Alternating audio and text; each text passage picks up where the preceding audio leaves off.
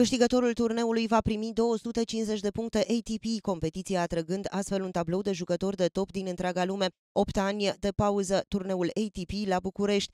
Ultima ediție a acestui prestigios turneu a avut loc în anul 2016 la arenele MNR și a fost câștigată la simplu de către spaniolul Fernando Verdasco, iar la dublu de către perechea formată din jucătorii români Horia Tăcău și Florin Mergea. Turneul ATP 250 a fost cel mai longeviv eveniment sportiv din România, desfășurat în 21 de ediții consecutive, biletele pentru ultimele patru ediții fiind vândute în totalitate. Ediția din anul 2016 a turneului de la București a fost transmisă de către televiziuni din 96 de țări, subliniind importanța și popularitatea unui eveniment de o asemenea anvergură. Am făcut eforturi uriașe pentru a readuce această competiție la București și a le oferi o șansă în plus tinerilor sportivi români să performeze în competiții de talie internațională.